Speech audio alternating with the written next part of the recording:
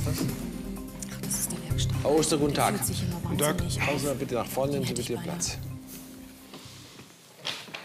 Sie wissen, dass Sie als Zeuge die Wahrheit sagen müssen. Wer was Falsches sagt, macht sich strafbar. Sie heißen Gerhard Oster, 45 Jahre alt. Sie wohnen in Köln, sind verheiratet, Werkstattleiter und nicht verwandt oder verschwägert mit der Angeklagten. Sie wissen aber, dass es darum geht, die Angeklagte soll ihrem eigenen Bruder am Parkplatz vor seinem Autohaus diese Aale in den Rücken gerammt haben, als Rache dafür, dass er sie am Mittag gekündigt hatte.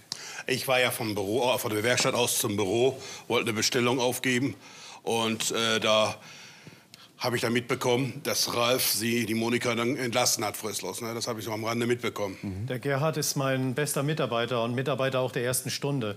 Ihm vertraue ich auf jeden Fall blind. Ich war ja dabei, dann wie dann Ralf Monika gebeten hat, also seine Schwester, dass sie äh, die Tasche mal öffnet und hat äh, schön Pak Paket, Kopierpapier in der Tasche gefunden. Hat sich Ralf natürlich richtig aufgeregt und hat gesagt, pass mal auf, so geht das nicht, geklaut wird bei uns nicht. Und das hat Konsequenzen, Monika, und das hat er richtig gemacht, muss ich sagen. Weißt du, du warst nicht nur feige, sondern auch hinterhältig. Warum hast du nicht gleich die ganze Belegschaft zusammengetrommelt? Hättest du mich noch mehr demütigen Das können? ha? wollte ich doch überhaupt gar nicht. Ach was. Ich habe ständig versucht, dir klarzumachen, dass das so irgendwann mal Konsequenzen haben wird. Mhm. Aber das hat dich überhaupt nicht interessiert. Und deshalb wollte ich äh, Gerhard auch, auch dabei haben. Dann hättest du dich nämlich nicht wieder da rausrinden können. Gab es denn öfter Probleme mit der Angeklagten? Ja, sicher. Hat er andauernd Sachen aus dem Büro mitgenommen, ne? Ach, hör doch auf. Hast andauernd gemacht. Und als der Ralf nicht da war und krank war, hast du die Chefin raushängen lassen, als wenn der Laden dir gehörte. Ich habe lediglich ein paar klare Ansagen gemacht und das war auch bitter nötig, sonst wäre nämlich überhaupt nichts mehr Moni- gelaufen. Monika- Einer muss das machen. Monika, aber vielleicht aber nicht von dir, da muss ich sagen. Und du bist nur so lange durchgekommen. Nur, ehrlich, nur so weit lange durchgekommen. Warum? Weil Ralf krank und schwach war und nicht durchgreifen konnte. Das war dein Glück. Und jetzt sag aber auch, warum ich das gemacht habe, weil sonst überhaupt gar keiner mehr gearbeitet hätte. Die hätten alle nur noch Pause gemacht. Ich musste da was sagen. Monika, der Ton macht die Musik. So geht das nicht. Und deine Abmahnungen, die waren echt der Oberhammer. Was wissen Sehr Sie über die. Abmahnung? Ja, sie, Sehr ja, witzig. sie ist im Betrieb hergegangen. Für die Menschen, die sie nicht leiden konnte, Mitarbeiter, hat sie Abmahnungen ausgestellt. Das war echt lustig. Ja, für mich jedenfalls. Ha, ha. Ja, klar, kann man eigentlich lustig nehmen, weil wenn sie dazu nicht befugt waren, dann sind die Abmahnungen natürlich unwirksam. Ja, die sind nichtig. Ralf hat das sofort aufgeklärt. Er ist ja zu allen hin. Aber war für die Stimmung im Betrieb, da war es echtes Gift.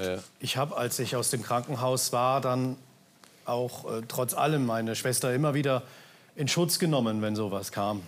Ich habe einfach gehofft, dass sie im Verlaufe der Zeit dann irgendwie sich ändert und äh, diesen Blödsinn einfach sein lässt. Ich wollte doch einfach nur, dass alles gut läuft. Verstehst du das nicht? Kap- Geht das nicht in deinen Schädel? Das war aber nun mal nicht dein Job. Doch, irgendwie schon. Du warst da total überfordert mit der Situation. Ja, das stimmt ja auch. Und als ich dann aus dem Krankenhaus kam, dann musste ich natürlich auch durchgreifen. Das habe ich auch getan. Und das habe ich auch getan, indem ich dir gesagt habe, dass, indem ich dir ge gezeigt habe, wer hier der Chef in meinem, in meinem Hause ist. Danke auch. Und das muss ich auch sagen, er hat das sehr human. Er hat hier aufgeschrieben, sogar auf Zettelchen, detailliert, was sie zu machen hat. Hat sich aber nichts gehalten. Voll lächerlich. Se- Voll- Selbst an voll Gespräch, lächerlich. Gespräche unter vier Augen mit Ihnen hast du auch nicht ernst genommen. Das hat sie alles nicht interessiert. Und dann habe ich halt einfach mir keinen Rand an Rat mehr gewusst und habe ein Personalgespräch dann eben geführt, wo auch Herr Oster mit dabei war. Ich habe es Ja. sogar protokolliert, damit sie sich Schön. wieder rausregen. Ja, dann nicht, dass du Alzheimer bekommst, ne? Ja, ja, Und was ja. hat sie gemacht? Nichts dran gehalten. Hat die Mitarbeiter wieder weiter schikaniert. Und wie? Da gab echt Probleme. Ich musste doch schauen, dass es läuft. Wie oft soll ich das noch sagen? Und dieses Personalgespräch, ja, das haben Sie initiiert, das haben Sie ihm eingeredet. Er wäre ja überhaupt nicht auf die Idee gekommen. Sie stecken Du doch dahinter. Die, die ist echt beratungsresistent, ehrlich. An Ralf seine Stelle, ach, sicher, hätte ich die Notbremse schon viel eher gezogen. Niere hin, Niere her. Haben Sie Angeklagte denn nach der Kündigung noch mal gesehen? Nach ihrem Wutanfall, den hätten Sie mal sehen sollen, bin ich erst mal ins Büro, hab die Bestellung gemacht. Und nach der Bestellung bin ich dann ab in die Werkstatt. Da war sie zum Glück schon weg. Ihr Chef hat vorhin gesagt, dass er nach seiner OP in der Firma noch mal richtig aufgeräumt hat. Was heißt denn das auf gut Deutsch? Ja, nach seiner Krankheit, also nach dieser OP, hat er sich eine Woche mal unseren Betrieb mal wieder angeguckt. Und wer noch engagiert mitarbeitet und nicht. Und wie viel sein Urteil ausmacht, von meiner Mandantin abgesehen? Hier in der Werkstatt, da habe ich ein Auge drauf gehabt, hab, bin der Leiter der Werkstatt. Aber im Büro waren ein, zwei Leute, die brauchten, also die haben nachgelassen, hat eine Abmahnung verteilt. Aber das lief dann wieder. Und die Abmahnungen, die waren berechtigt. Gehe ich richtig der Annahme, dass also hierdurch er sich nicht unbedingt sonderlich viele Freunde gemacht hat? Oder nicht nur Freunde gemacht hat. Gelästert wird immer über den Chef, das wissen Sie doch. Also ich kann mir absolut vorstellen, dass eben einer dieser gerügten Mitarbeiter nach Feierabend nochmal zurückgekehrt ist, sich diese Aale genommen hat, um sich beim Chef zu rächen, um ihm die Reifen aufzustechen. Die Aale da ist aus Ihrer Werkstatt? Ja. ja. Wie ist denn der Täter eigentlich an die Aale gekommen? Sie, Sie waren doch nur in der Werkstatt, sagen Sie gerade. Herr Vorsitzender, jeder muss doch mal aufs Klo. Ich war fünf Minuten auf Klo, kam zurück, da war die Aale weg. Die habe ich vielleicht gesucht. Ja, und können Sie sagen, ob sie vorher noch da war, vor Sie Ja, Toilette sicher, habe ich doch mitgearbeitet. Und die anderen Werkzeuge waren schon weggeräumt. Das waren die beiden Werkzeuge, die noch offen liegen waren. Eine Pfeile oder was das war. Ist Ihnen irgendwas auf dem Parkplatz aufgefallen, als Sie da zurück in die Werkstatt gekommen sind? Nein, er- nein, er ist nicht so. Aber dann hörte ich Ralf stöhnen. Ich dachte, der fährt nach Hause. Dann hörte ich keinen Motor. Und dann jetzt gehst du mal gucken. Und dann lag er da am Boden, fast regungslos. Aber meine Mandate haben Sie nicht gesehen. Nee. Also. Aber ich kann mir das sehr gut vorstellen, dass sie das gewesen Nach Hause aufzugucken. Aber ich kann mir das gut vorstellen, dass sie das gewesen ist. Nämlich ihre Kisten mit ihren Sachen standen plötzlich da. So ein Zufall? Hm? Ich war aber nicht mehr dort. Ach, hör auf. Und haben Sie die Stelle, wo diese Kiste dann angeblich stand, aus äh, der Werkstatt überhaupt sehen können, wo Sie arbeiten? Nicht direkt. Ah, das ist ja interessant. Dann können Sie also nicht sagen, ob die Kiste schon den ganzen Tag dort stand oder nicht. Nein, aber wir sind ein ordentlicher Betrieb. Der Chef wird sonst motzen. Der wird so einen Rümpel am Tag nicht da rumstehen haben wollen. Da gibt's nämlich Ärger. Der greift durch. Sag ich Ihnen mal was. Ich glaube, dass diese Kiste überhaupt gar keinen Zusammenhang mit der ganzen Tat und mit meiner Mandantin steht. Mal was anderes. Wenn Sie sich mal kurz umdrehen. Kennen Sie diese Dame, die hier sitzt und vielleicht auch noch äh, den Herrn mit der netten Frisur ganz hinten? Ja, jeder hat eine freie Frisurwahl, ne? aber die beiden habe ich gesehen. Die waren auf, am am Rande der Werkstatt, also auf unserem Grundstück. Sind immer rauf aufs Grundstück, zurück, rauf, zurück. Morgen, was soll das Theater? Ich glaube, die beiden hatten tatsächlich vor, sich bei Ihnen zu entschuldigen, Herr Schmidt, ja, und haben vielleicht auch ein bisschen gewartet. Aber dann haben sie sich anders überlegt. Dann haben sie sich die Aale geschnappt und wollten ihn eins auswischen, ja, wegen der Anzeige, die ihnen drohte, und haben in die Reifen gestochen. Ja, und dann haben sie sie überrascht. Und dann mussten sie zustechen, um unerkannt zu bleiben. Sonst hätten sie ja auf jeden Fall eine Anzeige bekommen. Nein, das stimmt nicht. Komm, hör mir auf, Lea. Du warst sauer. Du warst sauer, weil er, der Herr Schmidt, auf das Gewissen und auf deine Mutter eingeredet hat. Nur wegen ihm bist du doch überhaupt im Heim gelandet. Du warst stocksauer auf ihn. Du wolltest dich doch an ihm rächen. Und das ist dir Natürlich alles gekommen. sauer. Ja, und? Ich stech doch nicht zu. Wir waren das nicht. Wieso glaubt mir das denn hier Ja, keiner? Ich glaub dir das nicht. Jetzt lassen Sie doch endlich meine Tochter in Ruhe. Sie war's doch nicht. Ich weiß, dass Lea wirklich schwierig ist. Aber sie würde niemals diese Grenze überschreiten. Und sie würde niemals mit so einem komischen Ding einen anderen Menschen verletzen. das wird sie niemals tun. Ah, Spricht vielleicht Dafür würde ich meine Hand ins Feuer legen. Ja, das spricht vielleicht jetzt für Sie als Mutter, aber das ist für mich kein Argument. Tut Ich glaube auch nicht, dass sie das gewesen ist. Nämlich nach 9 Uhr- 19.30 Uhr waren die ja schon weg. Habe ich noch so im Hinterkopf. Sind Sie sich da sicher? Herr Vorsitzender, sicher bin ich da sicher. Und wenn die noch beobachtet hätten, das hätte ich doch mitbekommen, war ja noch da. Wir waren halt weg und haben Energy Drinks gekauft. Wir haben den Kiosk gesucht. Ach, es ist aber sehr gesagt. eigenartig, dass sich der Besitzer dieses Kiosks aber nicht an euch beide erinnern kann. Kann ich doch nichts dafür, wenn der Alzheimer hat. Hallo, Lea, bitte. Wir versuchen hier wirklich sachlich die ganze Geschichte zu klären. Und dann erwarte ich von dir, und ich habe gedacht, wir haben uns auch darauf geeinigt, dass du eigentlich auch versuchst, sachlich zu bleiben. Ja? Ja, ja, schon gut. Aber ist doch wahr, oder? Fragen noch an den Zeugen? Keine. Und Ich dann keine dann Fragen. Platz Danke. nehmen, Sie bleiben Dankeschön. unvereidigt. Michelle Dresdner, bitte. Ist der weg. Hallo, Rolf. Grüß dich. Grüß dich. Guten Tag, Frau Dresdner. Nehmen Sie mal bitte Ihr Platz. Der nächste. Sie wissen, dass Sie als Zeugen die Wahrheit sagen müssen. Wer was Falsches sagt, macht sich strafbar. Sie heißen Michelle Dresdner, 21 Jahre alt. Sie wohnen in Köln. Sie sind ledig, Studentin, verwandt oder verschwägert sind Sie nicht mit der Angeklagten. Sie wissen, dass die Angeklagte am 21. August ihren eigenen Bruder auf dem Parkplatz vor seiner Werkstatt mit dieser Aale schwer verletzt haben soll. Sie haben auch zu dem Zeitpunkt, also auch an dem Tag, meine ich, äh, da am Empfang gearbeitet. Ja, aber lediglich nur eine Woche, bevor das alles passiert ist. Haben Sie mitbekommen, als der Angeklagte gekündigt wurde? Nicht genau. In der Zeit ähm, hatte ich meine Kaffeepause. Kurz danach ähm, war ich meine Hände waschen. Da kam die Angeklagte ähm, auf die Toilette reingestürmt, total empört. Ja, und als sie mich gesehen hat, da ging ihre Mundwinkel sofort nach unten. Ich wusste ja von Anfang an, dass sie mich überhaupt nicht leiden kann. Das war ja auch eine blöde Situation. Ich wollte meine Ruhe haben und dann steht die da plötzlich. Naja, auf jeden Fall, ich habe sie gefragt, was los ist. Und ja, sie hat rumgeschrien und war total empört, dass man ihr gekündigt hat. Und ähm, naja, sie meint zwar, es wäre jetzt nicht meine Schuld gewesen, aber dass ihr alles total schwer fällt, vor allen Dingen wegen ihrer Kinder. Und der Satz, der mir in Erinnerung geblieben ist, ähm, ja, sie wünscht sich, äh, sie wünscht sich am liebsten, dass ihr Bruder an ihrer Niere verrecken würde. Das habe ich nie gesagt. Zu 100 Nie. Prozent. Ich kann mich genau an diese Wortwahl erinnern, Herr Richter, weil ähm, in dem Moment lief mir ein Schauer über den Rücken. Ich war mit ihr alleine, auf die- also auf der Toilette und äh, ich wusste, dass sie mich nicht leiden kann und ich habe voll Angst gehabt, dass sie ausflippt. Wieso konnte sie sie nicht leiden? Das habe ich mich auch gefragt. So ganz genau kann ich Ihnen das jetzt nicht erklären. Von Anfang an, die hat mir das Leben zur Hölle gemacht. So ein bisschen Stutenbissigkeit? Oder sie ist eine Woche vorher vom Chef eingestellt worden, auch für den Empfang? Ja, Ja, das wäre wohl schon denkbar, dass das der Grund gewesen ist, oder? oder? Also irgendeinen Grund muss es jedenfalls geben. Also das Einzige, also wie ich es mir jetzt erklären kann, ist, ähm, dass sie irgendeine Bedrohung in mir gesehen hat. Ähm, es war ganz klar, dass ich nur als Aushilfe dort arbeiten sollte und ähm, naja, sie hat mich total schikaniert. Ich musste andauernd kopieren, Kaffee holen und erklärt hat sie mir eigentlich auch nichts. Ich wäre ja auch blöd und arbeite meine eigene Nachfolgerin ein. So sehe ich aus, ja. Ja, und das war absolut total unfair. Ich war nur als Aushilfe angestellt. Ich wollte nicht ihre Nachfolgerin werden. Genau, und das hätte ich auch noch glauben sollen, oder? Ich meine, mein Bruder setzt mir da so ein junges Ding vor die Nase, die auch noch gut aussieht. Und die übernimmt dann meinen Job. Ich meine, das war die totale Kampfansage. Hallo? Wie kommst du denn auf sowas?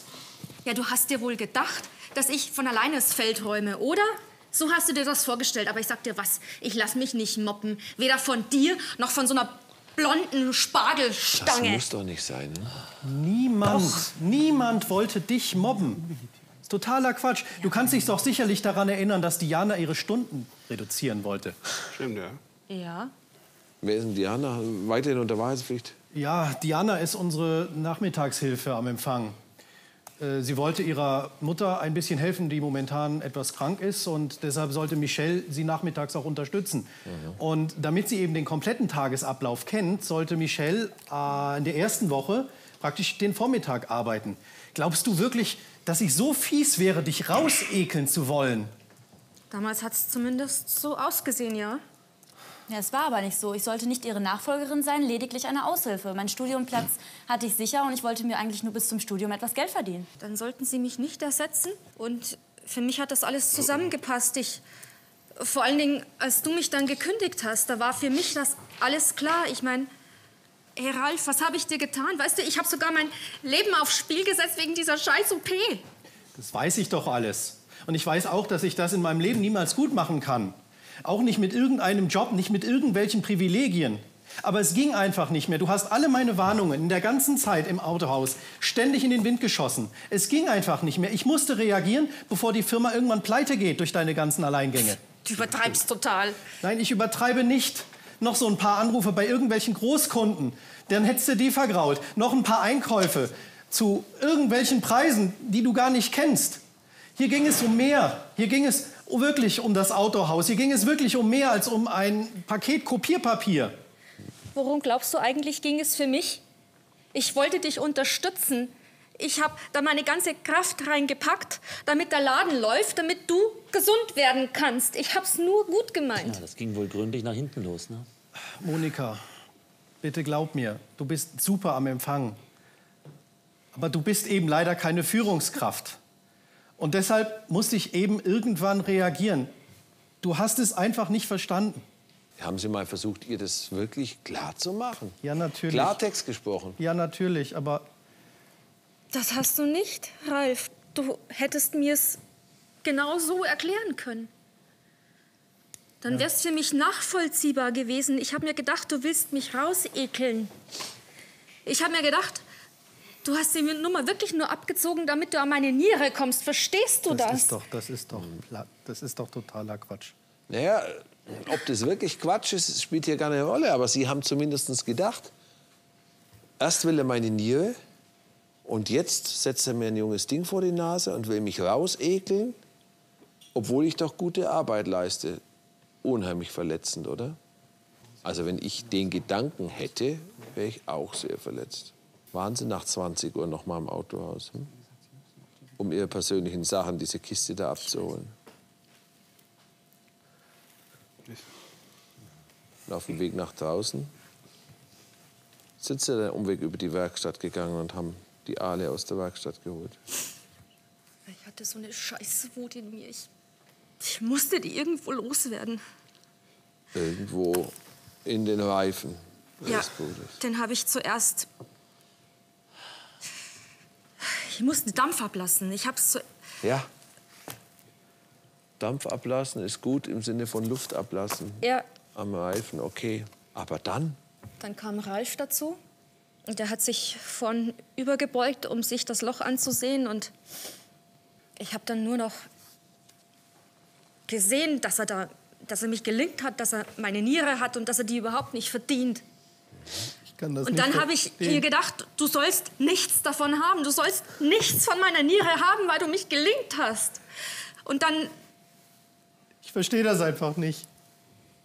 Wie konnte das zwischen uns wirklich so schief gehen?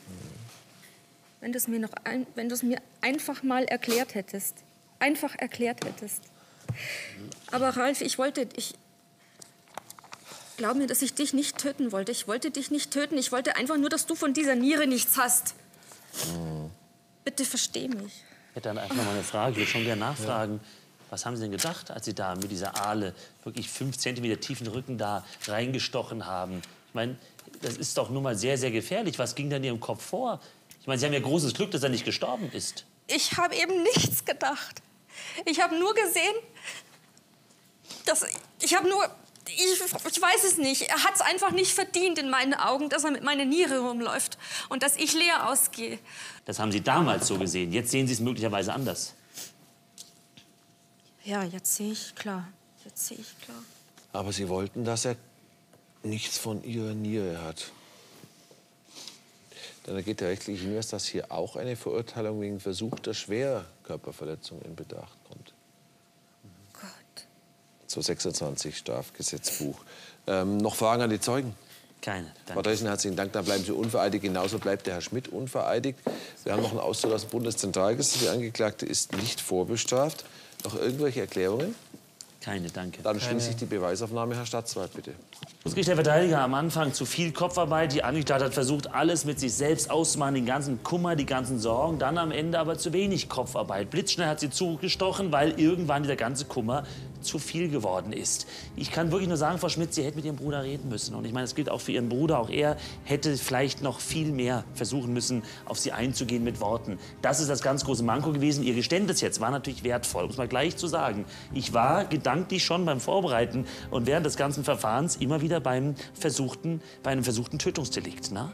Und habe mich dann entschieden, dass eine gefährliche Körperverletzung hier wohl das Richtige sei, dass Sie keinen Tötungsvorsatz hatten. Mit Ihren Worten vorhin wurde auch klar, dass Sie keinen Tötungsvorsatz hatten. Sie sagten sinngemäß, er soll nichts von seiner Niere haben. Also, er soll durchaus leben, aber die Niere, die soll ihm sozusagen abhanden kommen. Er soll auf gut Deutsch zum Dialysepatient werden. Und da spricht der Jurist von sogenanntem Siechtum, nämlich Siechtum haben wir dann, wenn man jemanden einen lang andauernden, den Gesamtorganismus erheblich beeinträchtigenden Krankheitszustand versetzt. Und genau das wollen sie erreichen. Und damit reden wir jetzt nicht mehr nur von einer gefährlichen Körperverletzung, sondern von einer schweren Körperverletzung. Und da komme ich beim besten Willen nicht mehr zu einer Freiheitsstrafe unter zwei Jahren. Problem ist aber, der Gesetzgeber sagt, bei Strafen über zwei Jahren gibt es keine Chance auf Bewährung. Ich beantrage hier eine Freiheitsstrafe von zwei Jahren und zehn Monaten und eine Bewährung ist damit ausgeschlossen. Vielen Dank. Danke, Herr Staatsanwalt. Herr Verteidiger, bitte. Ja, hohes Gericht, werter Herr Staatsanwalt, ich sehe es naturgemäß etwas anders. Denn, wie heißt es so schön, geschenkt ist geschenkt, wiederholen ist gestohlen. Das gilt aber nicht uneingeschränkt, zumindest nicht im Zivilrecht, Herr Staatsanwalt. Denn da ist es so, wenn sich jemand grob undankbar verhält, ja, dann darf man sich's wiederholen. Natürlich kann es jetzt nicht hier für die Niere gelten, man kann sich nicht einfach seine Niere wiederholen. Aber man muss das im Vorsatz hier berücksichtigen. Denn meine Mandantin ist davon ausgegangen, dass er sie nur eingestellt hatte, weil er an ihre Niere rankommen wollte. Und da sind einfach ist alles bei ihr durchgedreht. Und das kann man menschlich zumindest nachvollziehen. Und ich kann das, Herr Staatsanwalt. Und deswegen gehe ich ohnehin schon mal von einem minderschweren Fall aus. Ja? Und der minderschwere Fall, der beginnt bei sechs Monaten Freiheitsstrafe. Und deswegen komme ich sehr wohl zu einer Bewährungsstrafe. Ich sage hier zwei Jahre auf Bewährung unter der Berücksichtigung, dass meine Mandantin A die ihrem Bruder die Niere gegeben hat und B hier ein Geständnis abgelegt hat und sich C hier sehr reuig zeigt. Vielen Dank. Danke, Verteidiger. Frau Schmidt, Sie haben beide Anträge nun gehört. Sie merken, die Diskrepanz ist doch eine gewaltige. Sie können sich jetzt selbst noch verteidigen und Sie haben das letzte Wort. Ja, ich schließe mich dem an und es tut mir sehr leid. Dann ziehe ich mich mit den Schöffen zur Urteilsberatung zurück. Im Namen des Volkes verkünde ich folgendes Urteil. Die Angeklagte Monika Schmidt ist schuldig der versuchten absichtlichen schweren Körperverletzung, Paragraphen 226 Absatz 1 Nummer 3 Absatz 2, 22 und 23 Strafgesetzbuch. Sie wird deshalb zu einer Freiheitsstrafe von zwei Jahren verurteilt, deren Vollstreckung zur Bewährung ausgesetzt wird. Die Angeklagte sagt die Kosten des Verfahrens. Es geht noch der Beschluss. Die Bewährungszeit dauert drei Jahre. Sie wollten, dass er nichts mehr von dieser Niere hat. Das heißt, Sie wollten ihn so verletzen, dass die Niere nicht mehr funktioniert. Das heißt in der Folge, Sie wollten, dass er wieder Dialysepatient ist. Das ist das, was das Gesetz so etwas altmodisch und sperrig in Sichtum verfallen nennt. Das wollten Sie. Zum Glück haben Sie das nicht erreicht. Hätten Sie das erreicht, dann wäre nämlich die Mindeststrafe drei Jahre Gefängnis gewesen. Aber auch so haben wir uns sehr, sehr schwer getan. Und es ist eigentlich bei der Konstellation sehr, sehr schwierig, zu einer Bewährungsstrafe zu kommen. Man muss sich das ja mal vorstellen, vom äußeren Ablauf. Sie haben ihn in den Hinterhalt gelockt mit diesen kaputten Reifen. Und als er sich bückt, stechen sie von hinten ihm in den Rücken. Da würde ich jetzt auf den ersten Blick sagen, da ist so viel Brutalität, da ist so viel Zerstörungswill, da ist so viel an gewollter massiver Folge und an krimineller Energie, dass wir überhaupt nicht darüber reden müssen, ob jemand noch eine Bewährung kommt. Aber wir haben hier, glaube ich, eine ganz, ganz seltene eigene Situation. Das ist Ihr eigener Bruder, dem haben Sie eine Niere gespendet. Und ich glaube, das kann sich gar keiner, der es selber nicht getan hat, vorstellen, was das bedeutet. Das ist eben nichts, was man einfach zurückholen kann, wie eine Perlenkette oder ein Sparbuch. Und an dem Moment, an dem Tag, haben sie sich unglaublich gedemütigt gefühlt. Sie hatten das Gefühl, ob das jetzt richtig ist oder nicht, dass er sie nur ausgenutzt hat. Und ich glaube, da können wir uns nicht reinversetzen, was da in ihnen an Gefühlen hochkam. Sie haben was von sich gegeben, das sie nie mehr wiederholen konnten und hatten das Gefühl, dass sie gelingt worden sind. Und das ist, glaube ich, mit die übelste Art von gelingt zu sein, dass man ein Stück aus seinem Körper ihm aus Liebe gegeben hat und man hat das Gefühl, jetzt werde ich weggestoßen. Und Sie haben sich heute entschuldigt, das war ganz ehrlich gemeint, Sie haben Geständnis abgelegt. Deswegen glaube ich, bei dieser besonderen Situation kann hier gerade noch eine Bewährungsstrafe hier verhängt werden. Sie haben noch eine Chance verdient, keine Frage. Gegen das Urteil kann auch innerhalb einer Woche Berufung und Revision eingelegt werden. Ja, Chance verdient. Da muss ich zu euch dahinter schauen, Lea. Deine Mutter und dir, wenn man schon wegen solcher großer Dinge über den Schatten springen kann und eine Chance, eine zweite Chance geben kann, wie leicht müsste es eigentlich Ihnen da fallen? Hm? Aber ich habe da schon so was vernommen, was in diese Richtung geht und bin froh, wenn Sie das auch hinbekommen. Für ist die Hauptverhandlung geschlossen.